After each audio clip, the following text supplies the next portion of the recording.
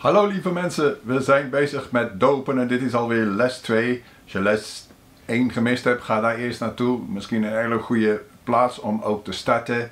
Blij dat je er weer bent. Kunnen we weer iets meer over de fundamenten van het christengeloof leren. Fundamenten van het christengeloof, dat zijn de basisbegrippen waar uh, ons, ons uh, geloof en de realiteit van de geest waar wij nu in zitten, waar dat op gebouwd is. Dat is een belangrijk deel om te weten, want de duivel die zal jou uittesten op elk gebied. Want hij probeert winst te halen bij ons onkunnen. Dat we bepaalde dingen niet weten en dat we niet, net als Jezus, kunnen zeggen van er staat geschreven. Dus als we niet weten wat er geschreven staat, dan hebben wij een probleem. Oké, ehm, in de vorige les hebben wij, hebben, wat hebben we gedaan? Wij hebben vier gevallen van dopen uit, uit handelingen hebben behandeld. En wij hebben Marcus 16 eh, behandeld waar staat als je gelooft en gedoopt bent dan zal jij behouden worden. En als jij niet gelooft dan zal jij veroordeeld worden. Uh, en we hebben gesproken over uh, de doop op zich. Hè. De doop is gewoon dat ze jou onder water doen in de naam van Jezus.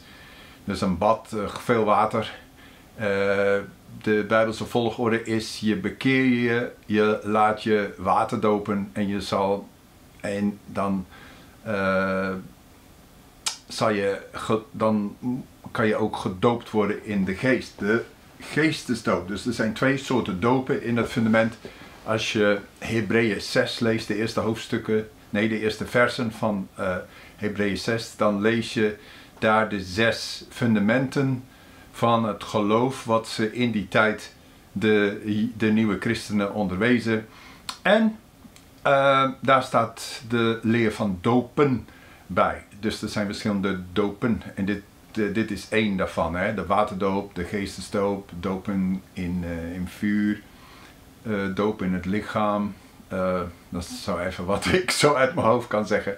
Oké, hoe, hoe, hoe is het zo gekomen? Hoe is het gebeurd dat, dat de doop nodig is? Nou, de doop, met de doop, als je Romeinen 6 erbij haalt, dan kan je zien, dus de doop is dat wij identificeren in, de plaats, in het plaatsen van de dood die Christus gedaan heeft, hij heeft de plaats ingenomen van ons, omdat wij allen, heb, in Romeinen staat, allen hebben gezondigd en derven de heerlijkheid Gods. Met andere woorden, iedereen is een zondaar. Uh, je kan zo goed leven als dat je wil, maar nog steeds schiet je tekort. Iedereen is zondig en een zondaar. En die zonden die staan tussen God en ons in. En God die wil heel graag contact met ons. En ergens diep in ons hart zoeken we ook gewoon de liefde en de geborgenheid en de, en de hulp, de raad van God.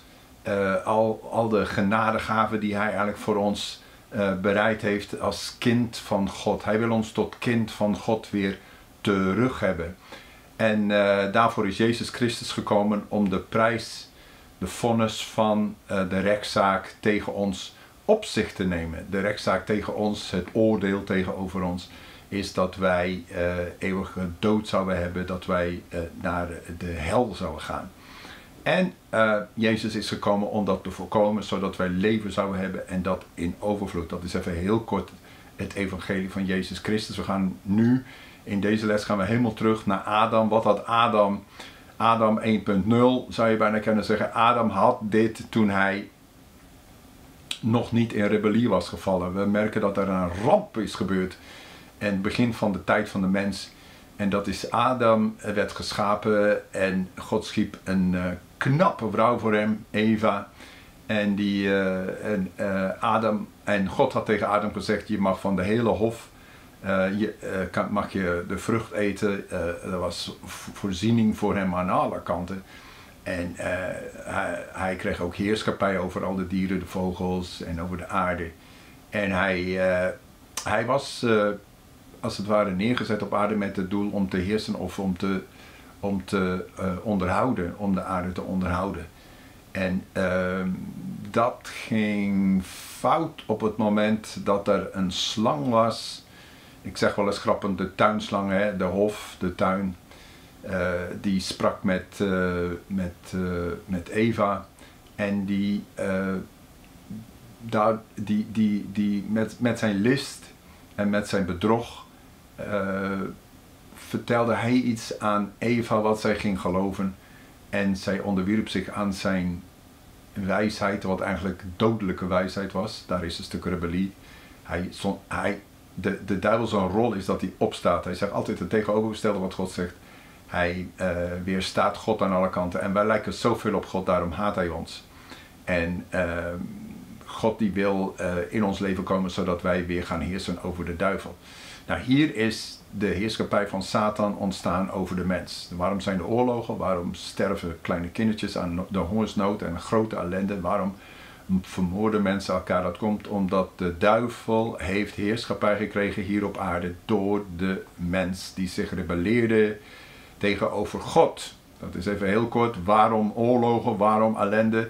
Dat komt door het besluit van de mens om zich af te keren van God als ze gekoppeld bleven aan God, dan was daar liefde en vrede op aarde geweest. Dus willen we peace op aarde, dan zullen we eerst peace in onszelf moeten hebben, vrede met, ons, met God uh, vinden, zodat wij terug kunnen naar die plaats. De enige plaats waar eigenlijk een vrede op aarde gevonden kan worden, dat is dat in ieder mens eigenlijk vrede gaat ontstaan. En dat kan door de waarheid te, te, aan te nemen en door Christus toe te laten in ons hart, kan daar, dan komt daar vrede en gerechtigheid.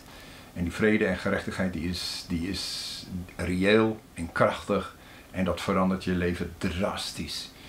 Ik was 15 toen iemand mij vertelde over deze, dit, dit prachtige, deze stappen die je kan nemen om Jezus Christus te leren kennen. En als jongen van 15 heb ik besloten om Jezus Heer en Verlosser van mijn leven te maken. Ik heb verbod met hem gesloten door, de, door bekering, door de waterdoop. En ik heb de doop in de Heilige Geest ontvangen en ik heb ontzettend veel geleerd in tussentijd. Ik ben nu bijna 70 en het wordt nog steeds beter. Het is onvoorstelbaar hoe, uh, hoe mooi of uh, God eigenlijk is. Je kan niet verzinnen hoe lieflijk en hoe krachtig en hoe mooi of hij eigenlijk wel is.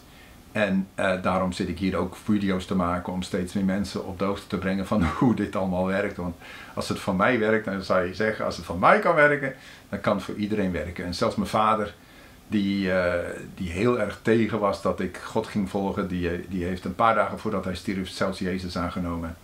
Hij noemde zichzelf de antichrist. Hij was zo tegen mens, wat heeft hij mijn leven zuur gemaakt in, in, zijn, in zijn poging om mij hiervan af te halen.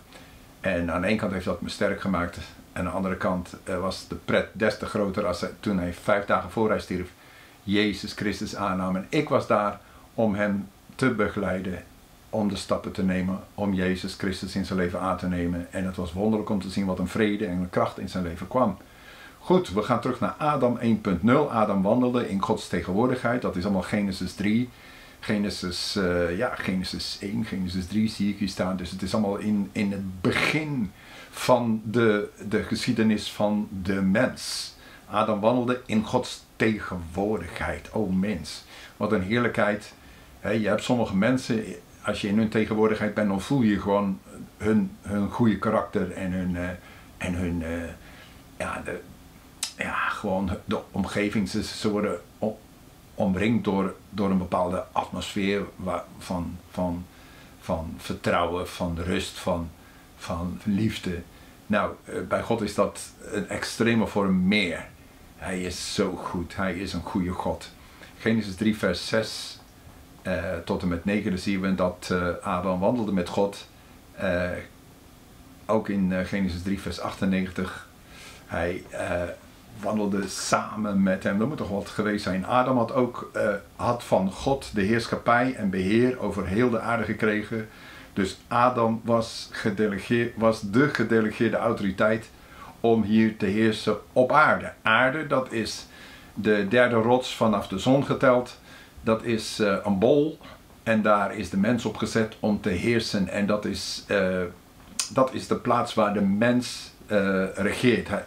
wij hebben een delegeerd gezag gekregen van God. Wij, wij heersen hier op aarde door Hem.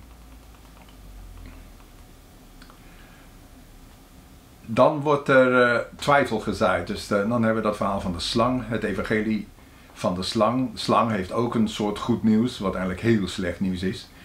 De slang, hij heeft, een, hij heeft een paar namen. Hij heet de slang, de duivel, de draak. En dat, le dat leer je allemaal uit Openbaring 12, vers 9. Dan zie je dus dat Satan, de duivel en de slang en de draak allemaal eh, om dezelfde persoon gaat. En die zegt het tegenovergestelde van wat God zegt. Dus dat maakt het heel makkelijk om te onthouden wat van Satan komt en wat van God komt. Dat wat van God komt, dat, uh, dat is goed. En dat wat van Satan komt, dat lijkt net een hele goede deal. Maar luister maar niet, want je, je gaat het putje in. Het, uh, het, het werkt enorm in je nadeel. Het lijkt net alsof het enorm voordeel is. Hij belooft je van alles en nog wat. Maar dat maakt hij niet waar. Niet, nee, het, het einde daarvan is altijd de, de, dood. Het is altijd gruwelijk. Het is altijd hel. Het is ver van God af. En eigenlijk is, is God de plaats waar we willen leven. Genesis 3, vers 1. De slang nu was het listigste van alle dieren van het veld die de Heere God gemaakt had. En, zij, en ze zeiden tot de vrouw. En ze zeiden tot de vrouw. Het lijkt net alsof we er meer waren. Hmm. God heeft zeker wel gezegd: Gij zult niet eten van enige boom in het hof. En dat is de NBG 51 die het, die, het zo, uh, die het zo vertelt. Ik moet daar eens op teruggaan van ze zeiden tot de vrouw. Maar enfin, God heeft zeker gezegd, dus hij, komt met een vraag, hij komt met een listige vraag. God heeft zeker gezegd, je zult niet eten van enige boom in het hof, hè? Zeker niet, hè? Nee? En uh, de slang en, en Eva, die, die antwoorden hem. En de slang echter zeide tot de vrouw, gij zult geen zin sterven. Dus Eva die had gezegd, ja, als wij van die ene boom eten, dan zullen wij sterven. Dat is wat God had gezegd. En de slang die zegt, knal het tegenovergestelde. De slang echter zeide tot de vrouw, gij zult zeker geen zins sterven. Genesis 3 vers 5, maar God weet dat ten dagen dat gij daarvan eet, uw ogen geopend zullen worden en gij als God zult zijn, kennende goed en kwaad. Ja, de, de man, ergens klopt er iets wel. Dat is de mens die leerde het verschil tussen goed en kwaad. En uh, dat wij, net als God goed en kwaad zou weten, ja, dat wordt later ook gezegd dat ja, de mens kent nu God en kwaad, dus moet hij de hof uit. Maar dat was niet in het voordeel van de mens, dat was niet Gods plan. En daarom behoede God eigenlijk de mens voor deze stap in het leven. En dat hebben we nu vandaag nog, eh, dat verschil tussen goed en kwaad. Wie heeft dit gedaan? En dat is kwaad. En, uh, en dat, uh, dat kwam vanaf dat moment. Dat was daarvoor niet en dat was daarna wel. En dat was de rebellie tegenover uh, over, over God, dat Eva dit ging, ging geloven. Dus er ontstond een samenswering tussen Eva en de, en de duivel. En Eva dacht echt dat, ze, dat God haar voor de gek hield. En dat God haar weer hield om net als hem te zijn. En, en beloofde haar een, een, een, een next level in het leven. Een, een, een, verhoging in promotie, dat ze net als God zou zijn. Let wel, hè, dat was precies het probleem waardoor Satan viel. Hij wilde net als God zijn. En nu komt hij bij de vrouw met precies die, datzelfde, met dezelfde ambitie. Genesis 3, vers 6. En de vrouw zag dat de boom goed was om van te eten. En dat hij een lust was voor de ogen. Ja, dat de boom begeerlijk was om daardoor verstandig te worden. En zij nam van zijn vrucht en at. Daar ging het fout. En, hij, en zij gaf ook haar man die bij haar was en hij at. Nou, dan zie je dat je niet altijd naar je vrouw moet luisteren. Nou ja, oké. Okay. 1 Johannes 2, vers 16. Want al wat in de wereld is, uh, hier heb je 1 Johannes. Ik bedoel, dat is een van de laatste boeken van het Nieuwe Testament. Dat is net ergens voor openbaring. En dat verwijst helemaal terug naar helemaal het begin. En verwijst eigenlijk naar de drie dingen die, waar de mens eigenlijk wel, die drie categorieën zonde die er zijn, drie categorieën uh, verleiding die er zijn voor de mens, waardoor ze heel vaak struikelen. Statistisch gezien struikelen mensen gewoon 100% door één van deze drie. En dat, en dat staat in 1 Johannes 2, vers 16. Dit zijn de gevaarlijke dingen uh, die de mens doet waardoor ze van God afkeren. Goed, dan gaan we nog een keer. Want al wat in de wereld is, de begeerte van het vlees. Het ziet er goed uit om te eten. Dan de tweede is de begeerlijkheid van de ogen. Het was een lust voor de ogen. Dus ik, ik, haal, ik vergelijk dat rechtstreeks met Genesis 3, vers 6. Daar zie je dus. Uh, ik, ik citeer dan uit, uh, maar dat snapt je al. Hè? Oké, okay, begeerte voor de ogen en hoogmoed van het leven. En dat de boom begeerlijk was om daardoor verstandig te worden. Dus uh, begeerte. Begeerte om verstandig en zeer de wijze en, en, en de, de, de slimme Piet uit te hangen. Uh, dus die zijn niet uit de Vader, maar die zijn uit de wereld. Dus de verleidingen, de duivel is niet veel veranderd. Hij verleidt je nog steeds met deze dingen. En als je niet op, op je hoede bent, dan komen een van deze drie dingen, of misschien alle drie die dingen, die komen gewoon langs. De begeerte van het vlees, dat is je vlees, is je lichaam, dat is, dat is je oude mens, dat is je, de begeerte die daar heel diep in een mens zit. Begeerte van de ogen, dus wat je ziet. En uh, ik wil dat en hebzucht en uh, dat soort dingen kan je daar allemaal bij bedenken. En hoogmoed, dat je je meer gaat voelen dan wie dan ook anders. En dat je, dat je uh, trots, hoogmoedig, ijdel, arrogant en, en zo wordt. Dat je op een gegeven moment denkt dat je echt slimmer bent dan wie dan ook. Of dat je in een elite groepje behoort en dat de rest allemaal maar gepeupel is en jij bent de grote slimmerik. Nou, dat zijn allemaal uh, van die valkuilen waar mensen in terechtkomen. Je kan beter gewoon nederig blijven en, uh, en mensen respecteren voor, voor wie ze zijn. Dus deze dingen zijn niet uit de Vader, maar die zijn uit de wereld. Het gevolg van de, de rebellie, het gevolg van het vallen door deze, door deze verleidingen, dat is de dood. En de dood, dat is niet dat je omvalt en, en uit elkaar valt. En dat we met een kistje moeten komen en jou gaan begraven en zo. Maar nee, de dood, wat de Bijbel hier de dood noemt, is dat je gescheiden wordt van God. Dat is een scheiding, dat is los van God, van God los. Dit speelt nog steeds in het leven van christenen. Hier heb je Jacobus, in het boek Jacobus, die is geschreven aan christenen. En moet je dit nou eens lezen, Jacobus 1, vers 13. Jacobus 1, vers 13. Laat niemand als hij verzocht wordt zeggen: Ik word van Gods wegen verzocht. Want God kan door het kwade niet verzocht worden en hij zelf brengt ook niemand in verzoeking. God verzoekt je niet. God heeft mij verzocht en God die toetst mij en God dit en God dat. Nee, is niet. Staat hier, is niet. Is niet. Maar zo vaak iemand verzocht wordt, dan komt dat dan komt dat voort uit de zuiging en de verlokking zijn eigen begeerten. We hebben net die drie begeerten hebben we doorgenomen uit 1 Johannes.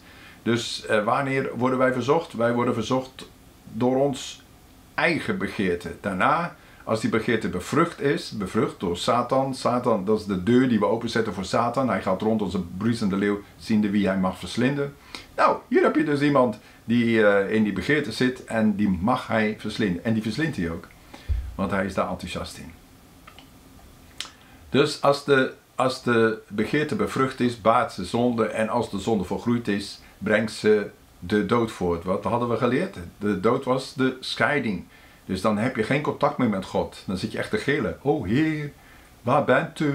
Uh, wilt u bij mij zijn? Ja, hij wil dat bij je zijn, maar bekeer je. Bekeer je van, je, van de begeerte waar je in terechtgekomen bent. Nader tot God uh, verneder je voor God, nader tot Hem en Hij zal tot jou naderen. Dus de actie is aan onze kant. De bal ligt bij ons en niet bij God.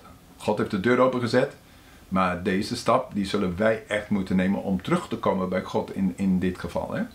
Dwaal niet, word niet bedrogen, mijn geliefde broeders, niet mijn geliefde heidenen in de wereld die God toch niet kent. Dus dit gebeurt alleen maar met heidenen. Nee, dit gebeurt met lieve kinderen van God die grote schatten die dan weggezogen worden. Mannen van God, echt leiders. Je wil niet weten wat een, wat een, wat een toestand. Als ik alleen maar terugkijk in de geschiedenis, hou op. Makken. Wat is de dood? Oké, ik ga uitleggen wat die dood is. Ik had net al gezegd, het is de scheiding tussen God. Maar dit gaat het dus. Dit is Bijbelse basis. Dit is, ik laat de Bijbel ook de Bijbel uitleggen. Overtreding veroorzaakt scheiding en dat heet de dood. Efeze 2 vers 1, Efeze 2 vers 1, u heeft, u heeft hij met hem levend gemaakt. U die dood was door overtredingen en zonden. U heeft hij met hem, met Jezus, levend gemaakt. U die dood was door de overtredingen en de zonde. Dus als je uh, Romeinen 6 bekijkt, dan zien wij dus dat wij dood waren. Dat we met Jezus de dood ingegaan zijn. Ons oude mens is daar gestorven en wij zijn levend gemaakt. Wij zijn met Hem levend gemaakt. Dat is wat de doop, de, de waterdoop laat zien. Dat wij met Hem opstaan uit dat water of met Hem opstaan uit de dood in nieuwheid van het leven. U die dood was door overtredingen en zonden. Wij waren dood of gescheiden van God door onze overtredingen en zonden. Colossense 2 vers 13. En hij heeft u, toen u dood was in de overtredingen, welke? Colossense 2 vers 13. Als je de opmerkingen af kan drukken of door kan scrollen naar de opmerkingen, dan zie je dus deze teksten gewoon staan. Dus uh, dan hoef je niet steeds ja, te vragen van, ja, welke tekst? Colossense 2 vers 13. Hij heeft u, toen u dood was in de overtredingen en onbesneden zijn van uw vlees, samen met hem levend gemaakt, door u al uw overtredingen te vergeven. Oké, we waren dood door die overtredingen en die zijn vergeven, die zijn uit de weg gehaald, die zijn betaald. De, de, de vonnis is, heeft Jezus op zich genomen, al onze zonden en ongerechtigheden heeft hij op hem genomen. En daarmee, als wij geloven dat Jezus opstond uit de doden dat, en we hebben hem als onze Heer en Verlosser gemaakt, uitgenodigd in ons leven te komen, dan worden wij vergeven van onze zonden. Als wij vergeven worden van onze zonden, dat is allemaal door genade, dat is niet door iets wat je doet. Uh, het is niet handel, het is niet hard werken ervoor, het is niet beter je best doen, zoals dat sommige kerken dat, uh, dat leren. Het is uit genade, dat betekent onverdiende gunst. Je hebt het gewoon gekregen door geloof. Je ontvangt het door geloof. Genade ontvang je door te geloven dat God dat aan jou wil geven. Te vertrouwen dat als Hij het belooft, dan doet Hij het ook. Zo simpel is geloof. Het is zo ontzettend onvoorstelbaar simpel dat een kind kan de was doen. Dus maak daar niet een heel moeilijk ding van, oeh, ik heb geen geloof, ik moet geloof, wauw, ik moet. Nee, geloof is super makkelijk. Je neemt het gewoon aan. Dank u, Jezus, ik neem het in ontvangst. Ik ga er niet voor werken, want ik weet, ik kan er niet voor werken. Genade is iets wat, wat door de liefde van God aan ons gegeven wordt. En wij nemen het in ontvangst en we zeggen dank u wel, Jezus Christus. Ik weet dat ik het niet waard ben. Ik weet dat ik het nooit waard geweest ben. Maar ik ontvang het, want u wil het toch aan mij geven. Ik geloof in u, ik neem het aan. Ik dank u, Jezus. En je neemt het tot je. Dat is dat woordje lambano. Je neemt het tot je. Zeg dank u, ik neem het tot mij. Het is nu van mij. Zo, zo ga je om met jouw geloof en je, dat je genade in ontvangst neemt. Zo nemen we vergeving in ontvangst. En als de duivel zegt van ja, dat is makkelijk. Kijk, eh, jij bent, uh, ik was erbij toen jij dat en dat. Ja, dat is vergeven. Door genade ben ik vergeven. er staat geschreven, ik ben ervan vergeven. Satan, hoepel op. Jezaja 59 vers 2. Maar u over ongerechtigheden zijn het die scheiding brengen tussen u en uw God. En uw zonden doen zijn aangezicht voor u verborgen zijn, zodat hij u niet hoort. Koperen, koperen hemel en dat soort verhalen krijg je dan. Ja, nee. Dus Heer, de Heer heeft een koperen hemel bij mij geplaatst. Nee, hier staat het zijn je ongerechtigheden die het zijn. En je ongerechtigheden die kunnen vergeven worden als je je bekeert. En je afkeert van die zonde. En Jezus vraagt voor vergeving dat het bloed van Jezus jouw ongerechtigheden wegwassen. Romeinen 6, vers 23. Want het loon van de zonde is de dood. Niet dat je omvalt, maar de, de dood is gescheiding van God. Eeuwig gescheiden van God. Maar de genadegave van God is eeuwig leven met God door Jezus Christus onze Heer. Zie, dat thema komt steeds terug op verschillende plaatsen in de Bijbel. Dat is het zekere teken van doctrine en niet van dogma dogma, dat is gewoon, ik heb één tekstje en ik maak er gewoon één wild verhaal van en iedereen wordt er gek van. Dat wil je niet. Je wil gewoon meerdere teksten hebben die precies hetzelfde zeggen. Daarom haak ik daar ook zoveel teksten bij. Want ik wil in, in, je, in je geest wil ik dit gaan leggen. Dat je zeker mag weten wat het doctrine is. En dat als de duivel komt met beschuldigingen. En hij zal komen met beschuldigingen uit jouw verleden. Dan heb je deze teksten om te zeggen, net als Jezus met die drie verzoekingen in, in de woestijn. Hij is, staat geschreven, want de loon van de zon is de dood. Maar de genadegave van God is eeuwig leven door Jezus Christus onze Heer. Ik heb Jezus aangenomen als mijn verlosser en als mijn Heer. Hij heeft betaald, hij heeft mij vergeven van al mijn zonden. Zonde zal geen heerschappij meer hebben over mijn leven. Romeinen 6 vers, pak hem weg, 14 ergens. Oké, Romeinen 10 vers 9, Romeinen 10 vers 9, want indien gij met uw mond beleidt dat Jezus Heer is en met uw hart gelooft dat God hem uit de doden heeft opgewekt, zult gij behouden worden. Zie je dat? Dat is heel Brabant, want ze zeggen gij. Gij zult behouden worden. Dat zult gij. En Vlaanderen ook. Hè? Ja, dat God hem uit de dood heeft opgewekt, dan zult gij behouden worden. Nou, dat betekent jij, dat betekent ik. Wij zullen behouden worden wanneer wij Jezus als onze Heer aannemen en hem en geloven dat hij uit de doden is opgewekt. Uit de doden is opgewekt? hoezo is dat belangrijk? Oh, nou, omdat de wet van zonde en dood ons, uh, ons weerhoudt. Dat is die scheiding, dat is die zonde en die ongerechtigheid die ons scheiden van Gods tegenwoordigheid. Dus gered van wat? Van wat zijn wij gered? Wij zijn gered van de dood en veroordeling. Romeinen 5 vers 17. Want indien, ik zeg het zo snel hè, Romeinen 5 vers 17. Moet ik eigenlijk wachten totdat je het kan vinden. Op je phone. Want indien door de overtreding van de ene de dood als koning is gaan heersen. Hè, dat was bij Eva, weet je wel. De, de, de, de, de dood of Satan gescheiden zijn van God. Vanaf dat moment werden zij gescheiden van Gods tegenwoordigheid. Van, van de intieme wandel die ze met God hadden. Die ging als koning heersen. Dat betekent dat de dood en de duivel die dat bracht, die werden de baas op aarde. De prins hè, van van de duisternis uh, die, die, eh, die op aarde begon te heersen. Die is gaan heersen op aarde.